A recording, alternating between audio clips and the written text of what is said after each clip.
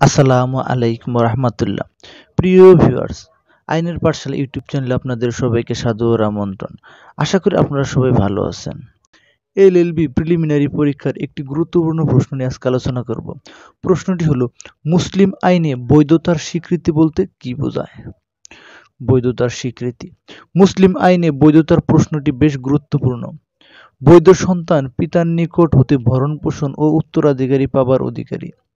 যেক্ষেত্রে কোনো শিশুর কৃতিত্ব তার গর্ভস্থ হওয়া বা ভূমিষ্ঠ হওয়ার পর তার পিতামাতার মধ্যে বিয়ের অস্তিত্ব সাব্যস্ত করা যায় না। সেক্ষেত্রে উক্ত বিয়ে ও জন্ম সাব্যস্ত করার জন্য স্বীকৃতি একটা গ্রহণযোগ্য ও স্বীকৃত পদ্ধতি। মাতৃত্ব নিয়ে কোনো সমস্যা হয় না, কেননা এটা সহজে বোঝা যায়।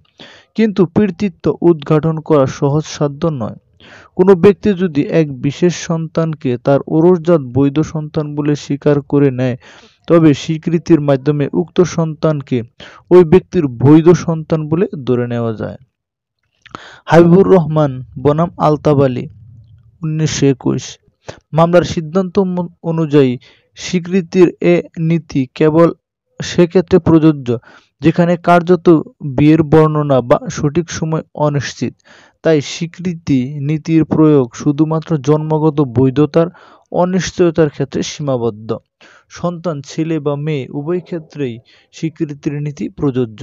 স্বীকৃতি দু ধরনের হতে পারে, প্রত্যক্ষ ও অনুমিত।